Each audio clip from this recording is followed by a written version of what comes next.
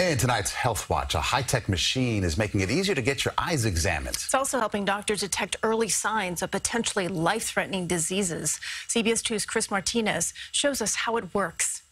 Put your forehead all the way forward. Are you comfortable? Yes. Three years ago, Ali Mateus went to the optometrist with pain in her eyes. Something was strange in my eye, and I had never felt the pain before, so I really wanted to figure out exactly what was going on. Get closer until it turns green. The 26 year old had a test using this machine called the Optomap.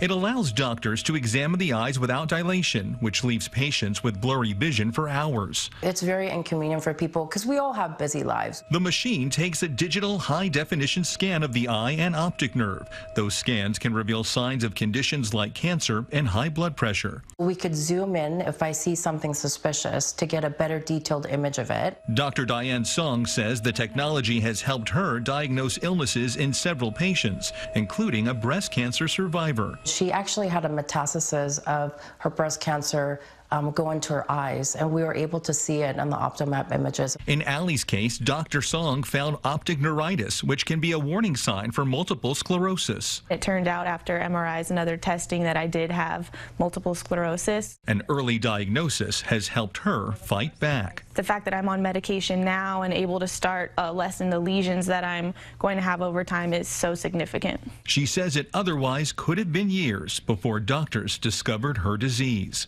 Chris Martinez, CBS News, Santa Clarita, California. Well, the Optomap test is not covered by all insurance plans, but it typically costs about $40.